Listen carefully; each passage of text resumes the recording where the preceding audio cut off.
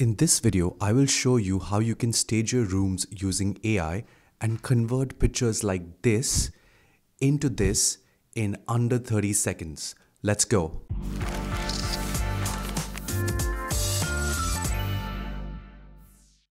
So I've been dabbling a lot with uh, AI tools recently, uh, whether it's uh, image generation, video creation, or you know even copywriting. I've played with a lot of those tools um, I've even recently given a presentation to uh, the VIP group at uh, Rockstar where uh, we discussed about the pros and cons of having AI and how we how humans will coexist with AI in the future. It's just my predictions. But today I wanted to share uh, one of my favorite real estate AI tools called Virtual Staging AI. I will leave the link in the description below so that you can go ahead and play it. Uh, you know, click on it and play around with this tool for yourself. Uh, you must be wondering why do you need to stage your house? Um, it's a rule of thumb in real estate that uh, you should stage your rooms uh, if you're trying to rent it out or sell it so that the future uh, buyer or renter can envision of how his dream house is going to look like. Uh, it'll really stand out and it'll help you sell or rent your properties much quicker. Now, why don't I jump into this laptop here and show you how easy it is to use this tool and stage your rooms in under 30 seconds. Here you go. So this is the website guys and uh, for us to start working with this we need an image of an empty room.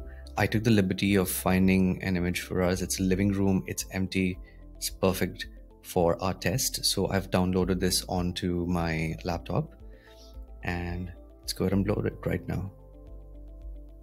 Since uh, this is a test and uh, I'm not on a paid version, I would just be working either with the bedroom or the living room for your test. And uh, you have other options as well in terms of the style that you need for the room. So, however, since again, this is just a test, I'm using the modern version. And when I click on add furniture, it's just going to take a few seconds.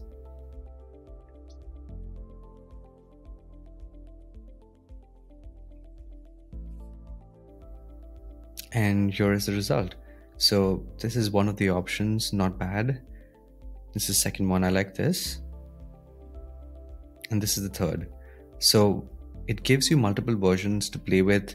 Again, you can you can play around with the style once you pay for the service, and uh, you know you can download these images.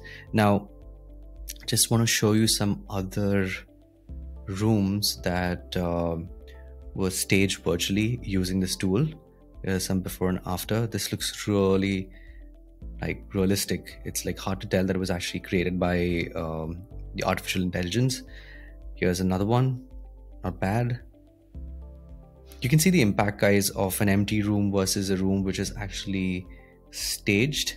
It gives you an idea of what the house would really look like. So it's really it's much appealing than this image right? This the stage image is much appealing than the empty room i would say these are some of the images. Now this tool is not free. If you want i can show you the prices. Per image it's around three dollars or you can go up with a subscription for per month which will give you 12 pictures.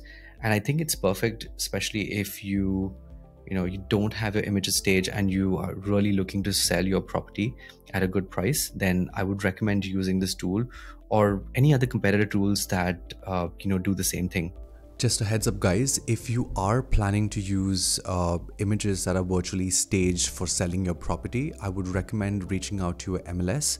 Every MLS has certain rules when it comes to these virtual images. Some MLS will allow you to uh, mark your images as virtually staged. Some will want you to have it mentioned in the description and some would just point blank not allow you to add any of the virtual images. So make sure you reach out to your real estate agent so that they can help you with the right information. Uh, that's it for this video guys. If you found this helpful, please go ahead and like this video. Uh, I would recommend even subscribing to this channel because we are constantly pumping in a lot of videos that would help you live life on your terms. And I hope to see you in the next video.